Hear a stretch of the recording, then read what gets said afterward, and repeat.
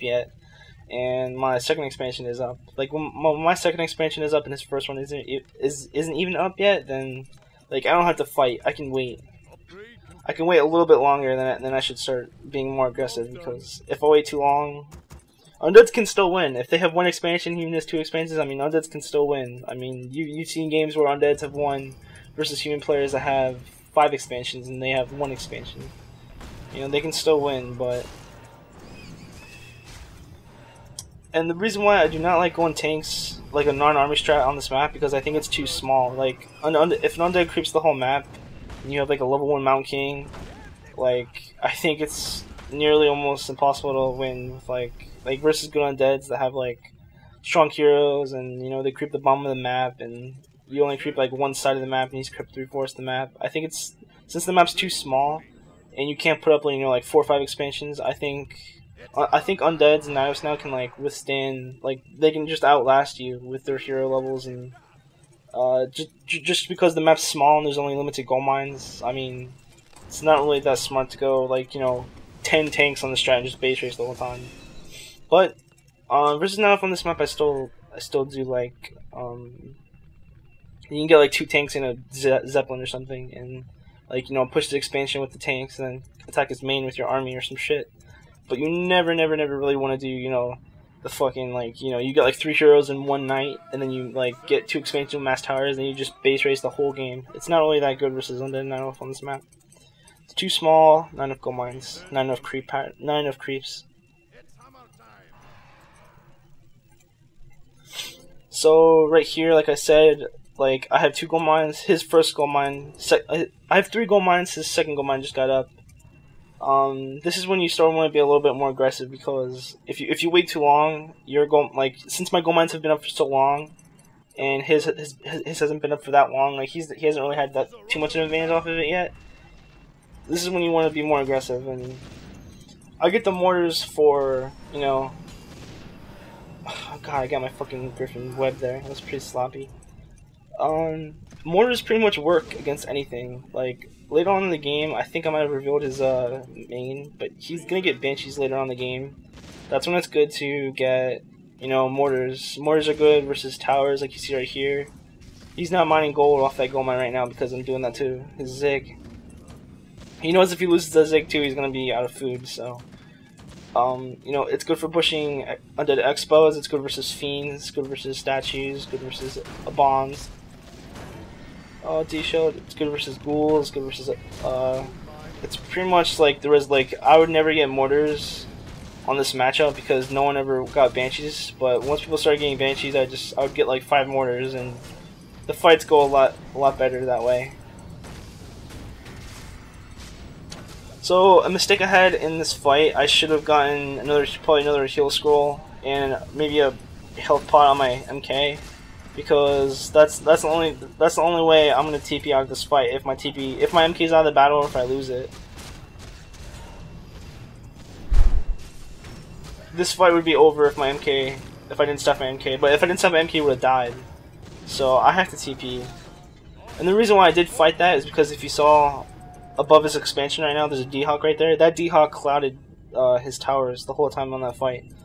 So if I didn't have that D-Hawk, then I probably wouldn't even fought that because you know versus undead on creep with a spirit tower and a cold tower. Even if even if you have a ten food advantage, it's not not a really smart way to fight.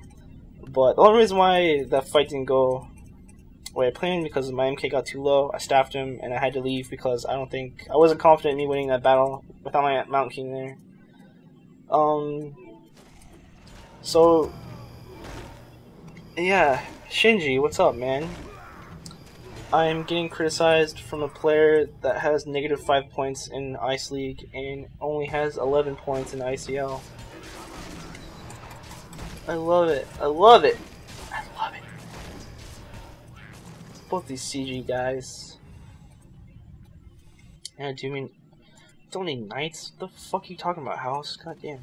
Yeah, I did get too many gyros, but like, if you don't get any gyros at all, he's just gonna morph all his fucking destroyers in the fight. And then you're gonna be like, what the fuck?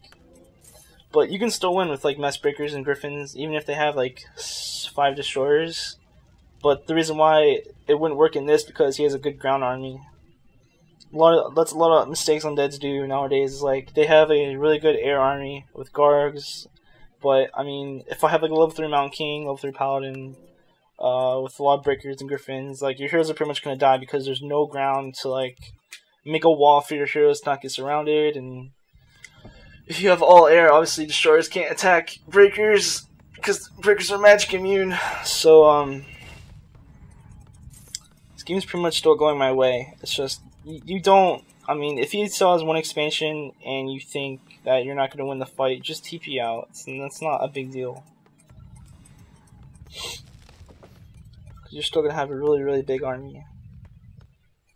And hopefully I bring my Shredder. It's pretty embarrassing if I don't bring my Shredder. You should always bring your Shredder in, like, last fights. Yeah, I think I do bring him. Yeah, he's coming. Um, just so if you don't know, if you do, if you don't play human, Shredder is fucking a four food unit.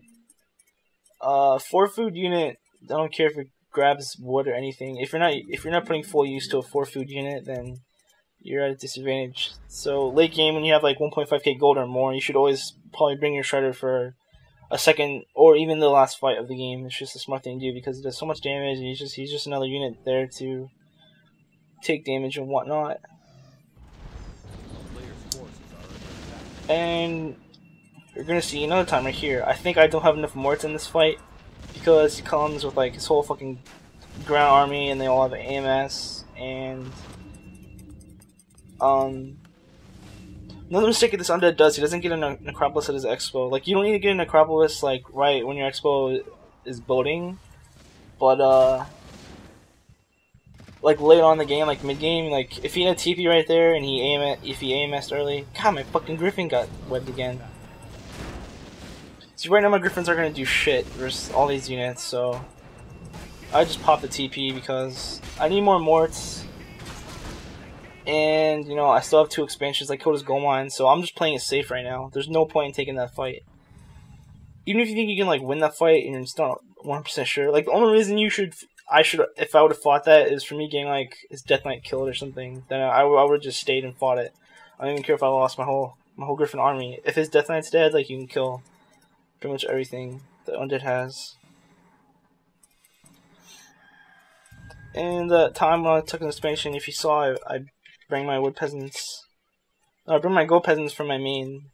I think I think they're my gold peasants from my main because my gold mine ex, uh, expired I bring them down and I explode there. So that's another thing for me to defend. If I put an expansion there, that's that's another thing for him to attack instead of pushing my other ex expos. So, uh, you know that's human 101.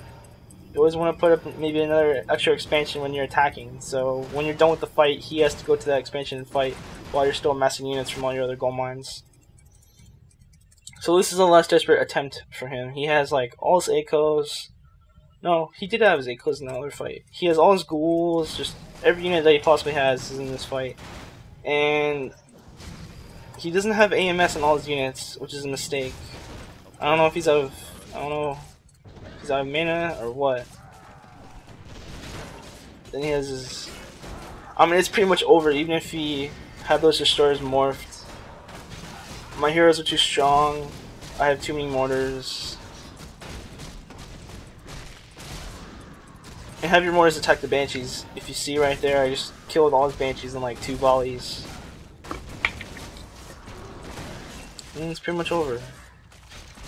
So you get breakers to kill heroes and fiends, griffins to kill griffins to kill everything pretty much, and mortars just to kill banshees. After banshees die, then you just a click, and mortars mortars fucking rape fiends pretty badly. Mm, it's pretty much game over.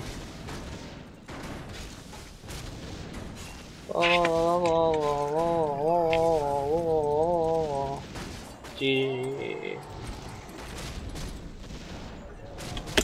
Alright, so like I said, always my audio, send me PMs for requests for my next one. Uh, send me a friend request on WCR, I will accept it.